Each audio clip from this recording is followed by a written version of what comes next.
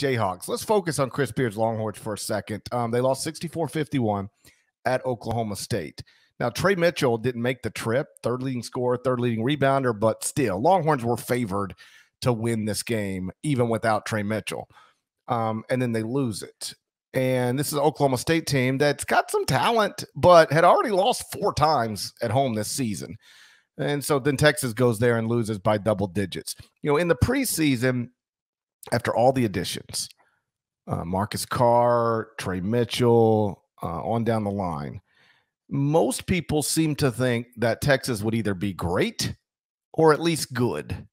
Right now, I'm not sure they're either. You still believe in this team, or are you uh, starting to grow skeptical that the Longhorns ever, will ever um, be the team that a lot of people thought they'd be in the preseason? Well, you may recall that in the preseason, I was vocally skeptical on this notion that Texas deserved to have a top five preseason ranking based purely on it's Chris Beard. He's been a really, really good coach at Texas Tech. He's going to go to Texas where the fit couldn't be more perfect, bringing all these transfers, and it's going to click, and this should be a top five team. I never bought into that. In fact, I think I remember talking on one of our preseason episodes, be it the Big 12 specific one or another one, where I even didn't like myself for caving to groupthink, and I put Texas in my preseason top 10. But even then, still wasn't comfortable with it. And if I wind up being wrong about that and wrong here, come back and find me, uh, as always, there.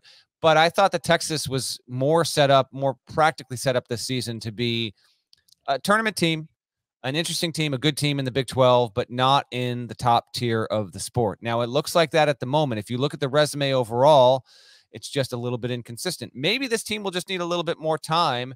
I remember when I went to the um, when I went to the Gonzaga Texas game at the start of the season and Gonzaga just rolled them, uh, ESPN's Fran Fraschilla called that game.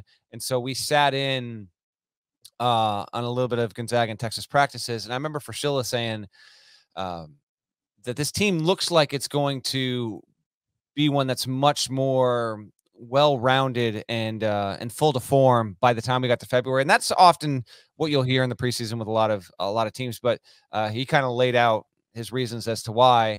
And I remember thinking yeah, there probably could be something to that because I wasn't sure how dangerous they'd be right off the bat. Then they go out and they just get, uh, you know, completely sideswiped by Gonzaga to start the season. And what was a really tough test. I mean, that was a tough ask. Chris Beard even said this was a house money situation there. But yeah, I d- I don't necessarily think that Texas is going to be in the mix to win the Big 12 this season. And I, that's not unreasonable.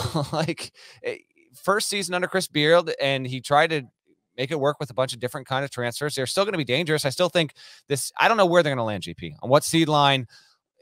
If they're a five, if they're a three, if they're a seven, but let's just say they're a five. You know, if they're a five, I, they, they can get past a 12, handle a four, and then I could see a situation where Sweet 16, they're playing a one in the regional semi. And yeah, it's like a nightmare situation. You wouldn't want to face Texas probably in that kind of spot. So I could still see this coming around in March and being a pretty cool story.